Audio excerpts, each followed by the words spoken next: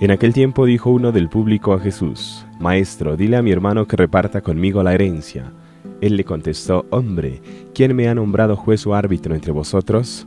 Y dijo a la gente, Mirad, guardaos de toda clase de codicia, pues aunque uno ande sobrado, su vida no depende de sus bienes. Y les propuso una parábola. Un hombre rico tuvo una gran cosecha y empezó a echar cálculos. ¿Qué haré? No tengo dónde almacenar la cosecha, y se dijo, haré lo siguiente, derribaré los graneros y construiré otros más grandes, y almacenaré allí todo el grano y el resto de mi cosecha. Y entonces me diré a mí mismo, hombre, tienes bienes acumulados para muchos años, túmbate, come, bebe y date buena vida. Pero Dios le dijo, necio, esta noche te van a exigir la vida. Lo que has acumulado, ¿de quién será? Así será el que amasa riquezas para sí y no es rico ante Dios. Muy buenos días.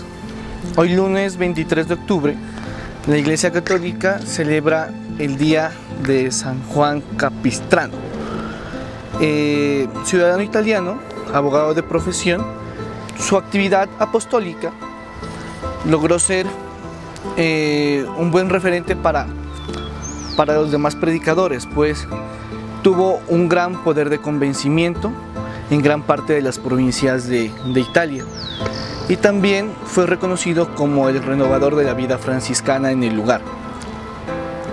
Sus obras como misionero y diplomático es de renovación para la iglesia, pues sus actos fueron hechos en nombre de Cristo y por ello es llamado el apóstol de Europa. De acuerdo a su, a su vida de renovación, el Evangelio según San Lucas nos invita a reflexionar sobre el actuar humano frente a la codicia.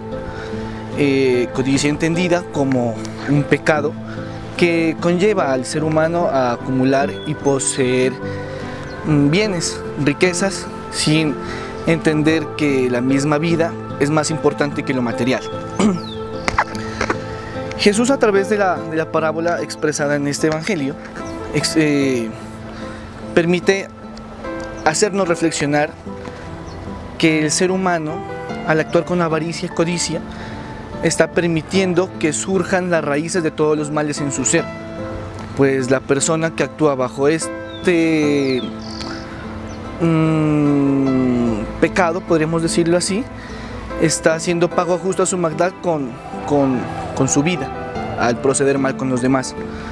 Por ello Jesús eh, nos invita a ser humildes de corazón y nos permite a su vez despertar en nuestro interior valores como la generosidad y la solidaridad.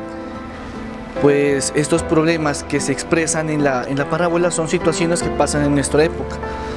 Eh, la codicia que destruye entornos familiares y corrompe los propios corazones de las personas que actúan de esta forma.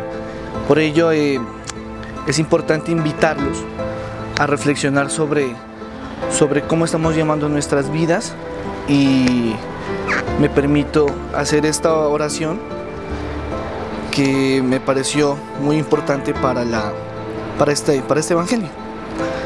Dice, Padre rico en misericordia, ayúdame a que comparta el pan con mis hermanos, a ser rico ante ti con el secreto y tesoro de la felicidad, amarte a ti y a mi prójimo, ayudarme a entender que la generosidad se eleva hacia Dios para conseguir los bienes eternos que tú nos tienes prometidos. Amén. Muchas gracias.